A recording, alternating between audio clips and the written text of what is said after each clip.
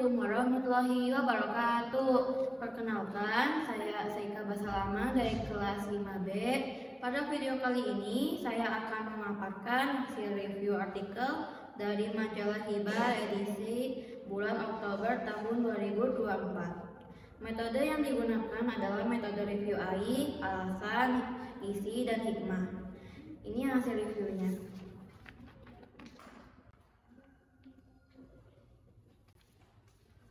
Artikelnya berjudul Kesombongan Jerapah ditulis oleh Ahmad Filian. Pertama, alasan saya memilih artikel ini adalah karena saya menyukai alur ceritanya yang begitu menarik dan bisa menjadi manfaat bagi kita semua. Kedua, isi dari artikel ini adalah ada seekor singa yang memiliki seorang putri yang sedang sakit. Sang singa, sang singa lalu membuat sayang sayembara lalu, lalu para binatang berlomba-lomba untuk mengambil anggur kuning untuk sang putri. Lalu dengan keangkuhannya jerapah berkata ialah yang akan menang. Tak lama kemudian sayembara tersebut dimulai.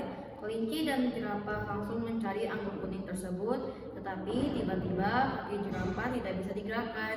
Akhirnya hanya sang kelinci yang mampu dan mendapatkan anggur kuning tersebut. Ketiga, hikmah yang saya dapat dari artikel ini kita tidak boleh menyombongkan diri karena kita akan mendapatkan balasannya. Terima kasih atas perhatiannya. Semoga bermanfaat.